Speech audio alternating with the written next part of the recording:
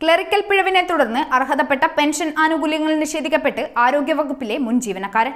Karivellur പുത്തൂരിലെ M ശശിമോഹനാണ് അർഹതപ്പെട്ട ആനുകൂല്യങ്ങൾ നേടിയെടുക്കുന്നതിനായി സർക്കാർ ഓഫീസുകൾ കയറിയിറങ്ങുന്നത്.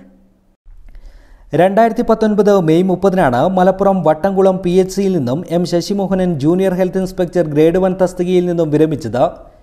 എന്നാൽ റിട്ടയർമെന്റ് ആനുകൂല്യത്തോടൊപ്പം കിട്ടേണ്ട ഡി സി ആർ ജി തുക നാലു വർഷമായും ഇദ്ദേഹത്തിന് ലഭിച്ചിട്ടില്ല. ശമ്പള നിർണയ സമയത്ത് പറ്റിയ ക്ലറിക്കൽ പിശകാണ് വില്ലനായത്.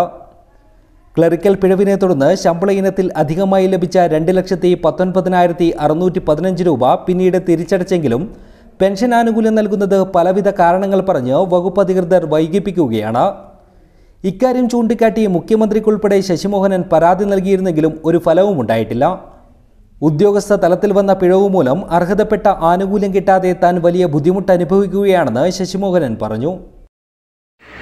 രണ്ടായിരത്തി പത്തൊമ്പത് മെയ് മാസം മുപ്പതാം തീയതി മലപ്പുറം ജില്ലയിലെ വട്ടംകുളം പ്രൈമറി ഹെൽത്ത് സെന്ററിൽ നിന്ന് ജൂനിയർ ഹെൽത്ത് ഇൻസ്പെക്ടറായി റിട്ടയർ ഗ്രേഡ് വണ്ണായി റിട്ടയർ ചെയ്ത ഒരു പെൻഷനറാണ് ഞാൻ.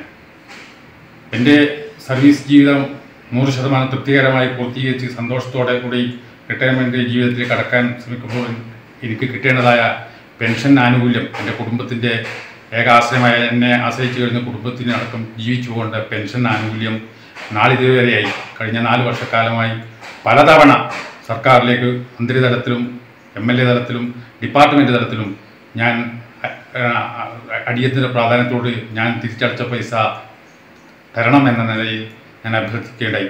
ഏകദേശം ഇരുപത്തിനാല് ഇരുപത്തിയഞ്ചോളം തവാറുകൾ മലപ്പുറം ഡി എം ഒന്നായിട്ടും തിരുവനന്തപുരത്ത് ഡി എച്ച് എസ് ആയിട്ടും എനിക്ക് അയക്കുന്നതല്ലാതെ കണ്ട് എനിക്ക് അനുവദിച്ച് കിട്ടേണ്ടതായ തുക ഡി സി ആർ തുക ഇന്നുവരെയും അനുവദിച്ച് തന്നിട്ടില്ല.